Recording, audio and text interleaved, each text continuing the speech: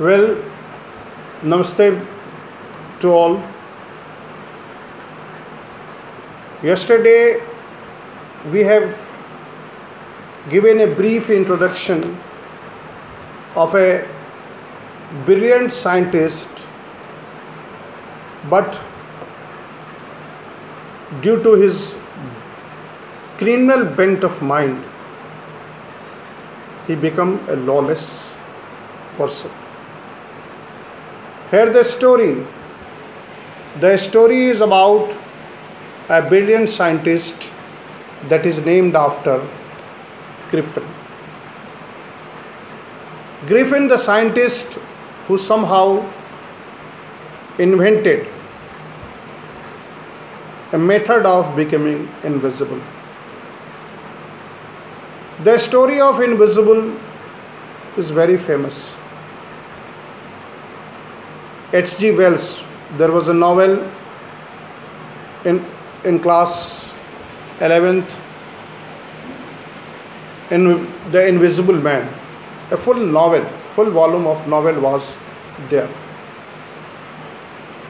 It was in prescribed for 11th and 12th as well. So that uh, the very abstract footprint without feet is derived from that famous novel that is Invisible Man.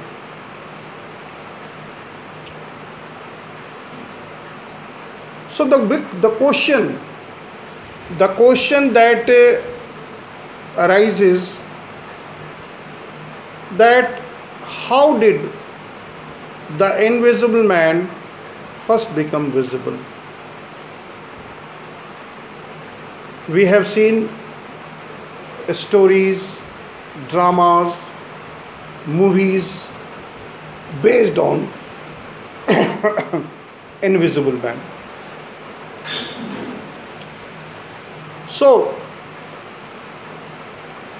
here the the two boy started in surprise at the fresh muddy imprints of a pair of bare feet.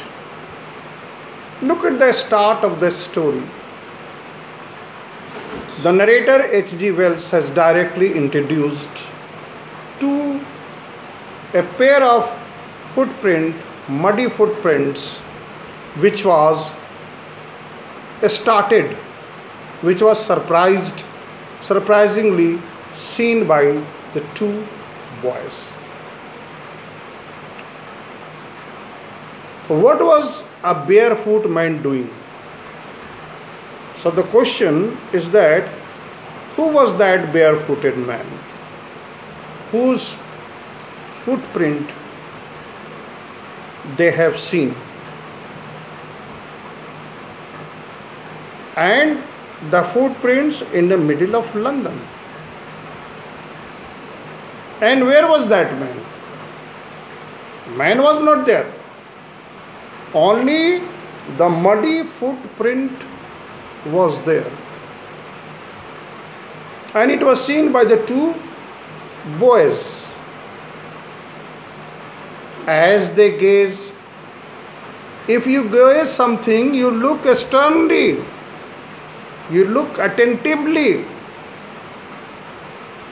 They gaze a remarkable sight met their eyes what was that remarkable sight? A fresh footmark appeared from nowhere. Only those footprints of mud was seen by the boys, the two boys. And since then, it was not seen.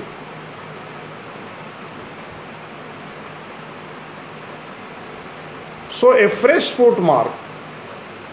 Further footprint followed one after other. They followed the footprints which were descending the step and processing down the streets. The footprints were on the stairs and gradually it was it were on the roads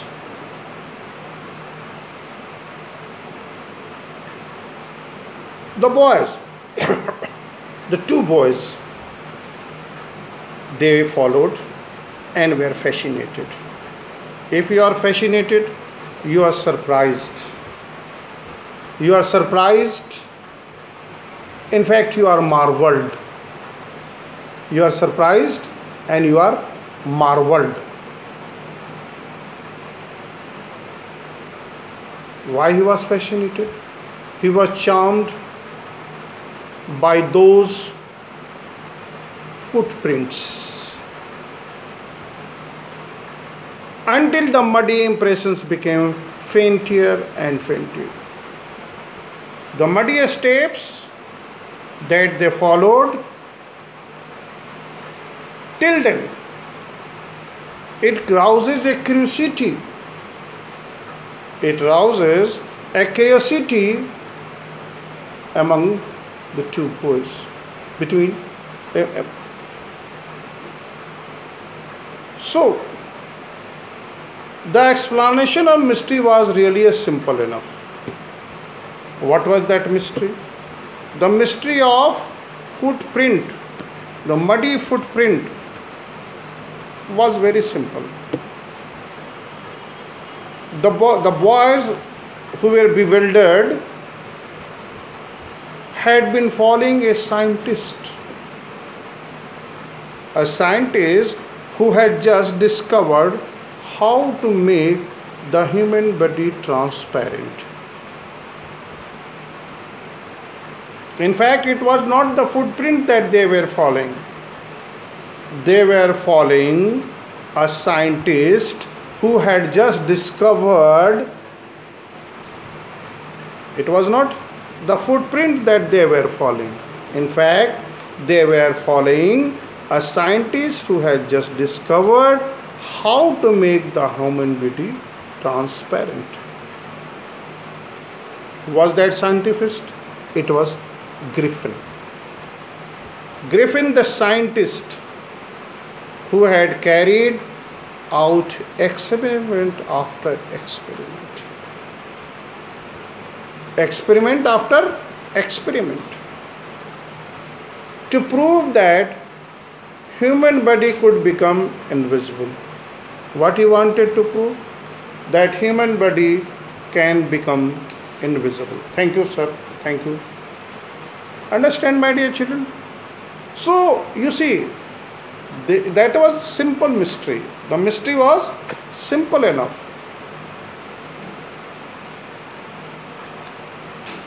and finally the experiment after experiment he shallowed certain rare drugs medicines and his body became invisible. Hmm? how? Became invisible as a sheet of glass. As a sheet of glass though it also remained as solid as glass but here you see a scientific invention inventions are aimed at for the betterment of betterment of the human being. Why a scientist like Albert Einstein is said to be the a man of a truly beautiful mind. It was due to his human concern. Any scientific invention is, may, is for the betterment, for the better quality of life, rather than destruction. But the funny thing is that, my dear child, that often science is misused. There is an old saying that science is a good servant but a bad master. How it is a bad master? When you allow science to govern you, to rule you, unless it is your servant eh, if you are using electricity as a servant it is good it is providing you various facilities. We are using electricity. We are using electricity like a bulb tube fan acs refrigerators. These are service. They are providing service. But if we allow, we will allow science to be our master the disastrous day will start here Griffin, the scientist, was brilliant enough. He was intelligent. He was brilliant. You may call God gifted. Why he's why scientists are called great? They are great because they do the thing differently. Any inventions are just aim at to provide better facility for the safety and security of the man. You could well remember the invention of atom bomb. The invention of atom by Albert Einstein. He was in Germany. There, at the time, Hitler was the ruler. Albert Einstein was very much sure that if he would will if he will stay in Germany, his invention might be used. His, his invention might be misused. Fearing this, he went to America. But whatever he expected, he could not meet. The American used the atom bomb. They dropped the disastrous atom bomb and Hiroshima and Nagasaki. The destruction caused by atom bomb. Albert Einstein was worried, worried about the destruction that a that an atom bomb may cause. But here you see the attitude, attitude of a scientist, Griffin, who was brilliant and was intelligent, but how, how a brilliant man, how a scientist may become a lawless person. He became a lawless person due to the criminal bent of mind. Dear children, life is what?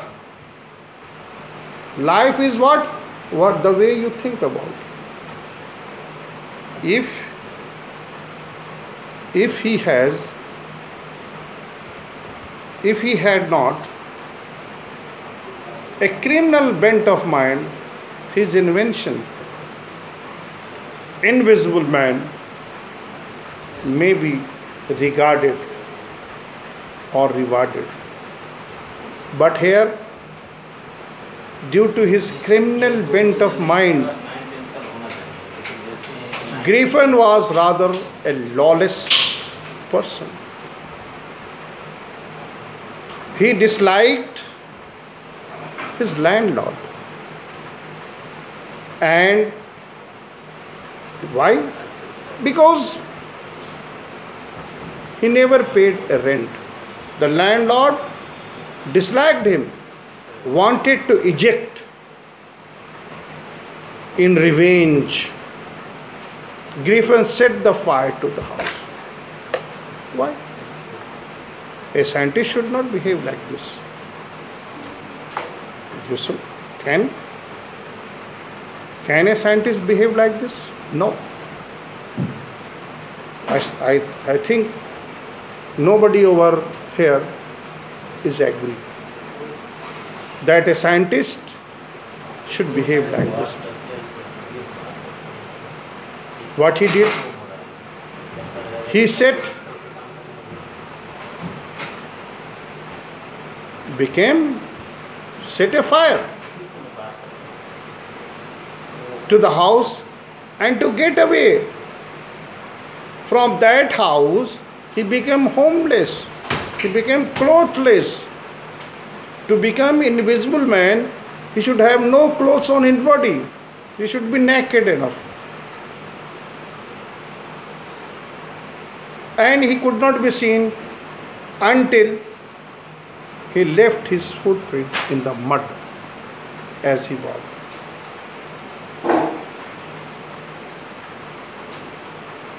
When he was when he escaped,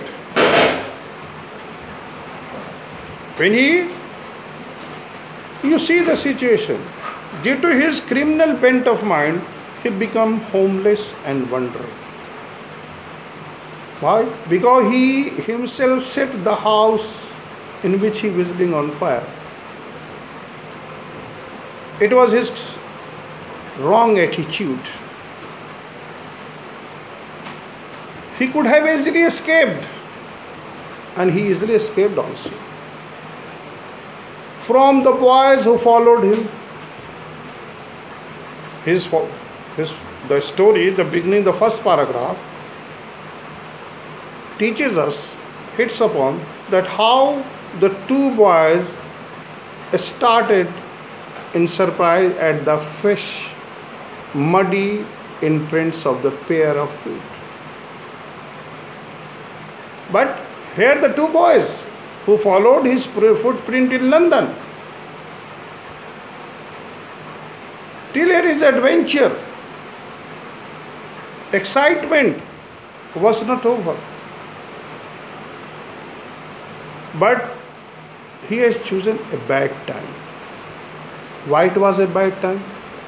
It was bad time because it was winter.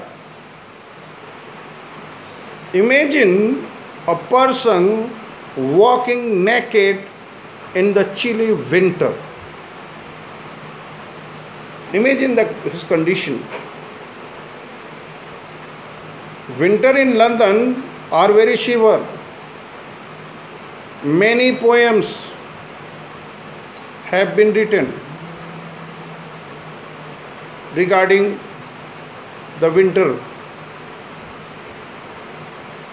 but it was the bad time. Bad time of the year. And to wander about london without clothes. In the mid of winter. It is bad time because he was wandering in the street of london in the mid of winter. That is why it was a bad time. Imagine the air was bitterly cold. The air was bitterly cold and he could not do without the clothes. Simply, as a human being, he must be feeling the extreme shiver cold. Instead of walking about the street, he decided to slip into a big store. A big store where he could get warm clothes so that he could clad himself wrapped himself to protect himself from the winter chill.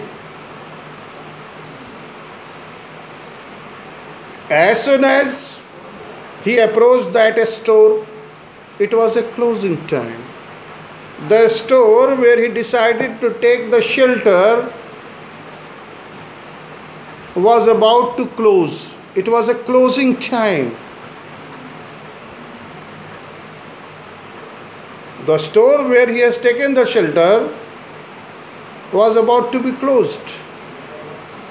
And as soon as the doors were shut, Griffin was able to give himself the pleasure of clothing and feeding himself without expending anything else.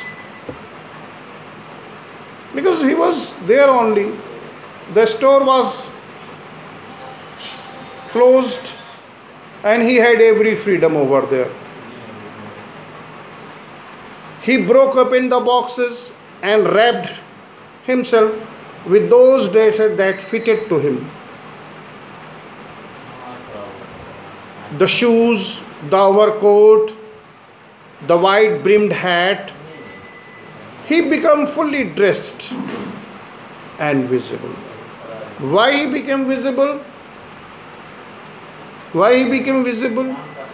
he became visible because no sooner did he put out the pad, then he became. To be invisible, it was a it was necessary that he should be clothless. He should be naked. So as soon as he put on he puts on the cloth, he became visible. He became visible. In the kitchen and restaurant, he found edible things and for the meal the sweets, wines and etc. And chicken enough of them. As he was tired, why? Because he was roaming in the street for the whole day. He was roaming. After setting the house on fire, he became wanderer. Look at the word wanderer. If you are a wanderer, you are loitering. You are loitering into the street. He was loitering into the street aimlessly here and there. When it became unbearable, when he could not resist the cold, he could not resist that much cold. So he, in order, wished to be protected. He wanted to save himself from the cold. So he entered into the shop. He entered into that storehouse, which was at the time of the closing. And there he see, there he could see that he dressed himself. And as soon as he dressed himself, he became visible. He became visible. If only Griffin had managed to wake up, but he could not wake up early. The reason was simple. As he was tired, he was tired enough that he slept sound. Enough of food, clothes made him comfortable. Gives him the comfort and he become slept for the whole and he could not wake up early. When he wakes up when he wakes up the store employee the store assistant started arriving. And they saw griffin in the store. When he saw that the couple of the assistant, store assistants, were trying to approach him, he panicked and began to run. Why he panicked? He panicked. If you are panicked, you become, you are fear stricken. Fear stricken. And why he was due, due to, he was fear stricken and due to due to his fear due to his fear he start running naturally. It was quite natural. When griffin started running the the employee the, the assistant gave them a cheese. And the chase he was able to escape. How? Because while he was running he started shedding his clothes one by one. And when he became completely naked he became invisible. So on so long there was a cloth on his body he was visible. And he was running. Just imagine. He was go he goes on running. And starting shedding of his clothes one by one. When the last cloth was shed, he became invisible. He was able to escape quickly only by taking his newly found clothes. Take off, putting off. So once more he found himself invisible, but he was naked naked in chilly January. You see, as you sow, so you reap. It was due to his own negative attitude, the suffering that he is he has met. It was due to his criminal bent of mind. Dear children, we are gifted with reasoning. And if you are thinking in right direction, the right thing will come to you. The right result will may be achieved. But here you see, as a scientist, Griffin was brilliant enough, but he himself dug his grave. Who is responsible for the trouble? For what is the use? What he was getting? Only few clothes, few food. How much more you can get by becoming invisible? How much more? You can eat as much as you are you you your health allow. You can accommodate as much as wealth you can. But may I ask one question?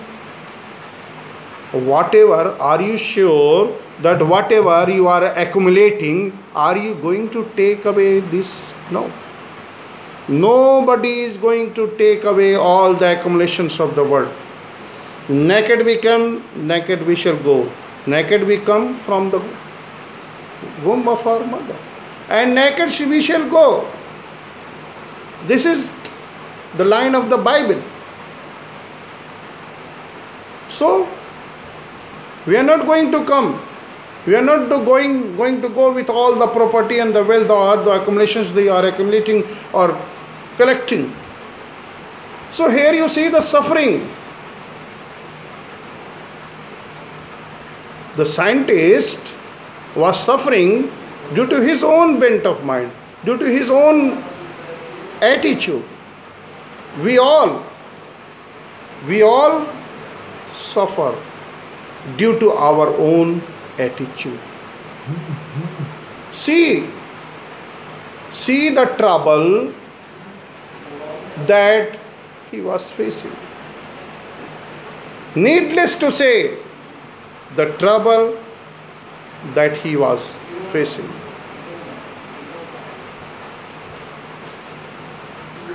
This time he decided to try to stop. When the chase was over, he again tried to hide himself into a theatrical store. A theatrical stores are those stores where costumes for the drama are sold. There he disguised himself with a peculiar nose, peculiar clothes. He bandaged his forehead with the bandage, typical nose, big moustache. So, something would may hide him empty space above. Shivering with cold, he hurried Drury Lane, the center of the theatre world. He, sound, he soon found a suitable shop. He made his way invisible up a stair and come out, little later wearing bandage round his forehead, dark glasses, false nose, big bushy whiskers, and a large hat.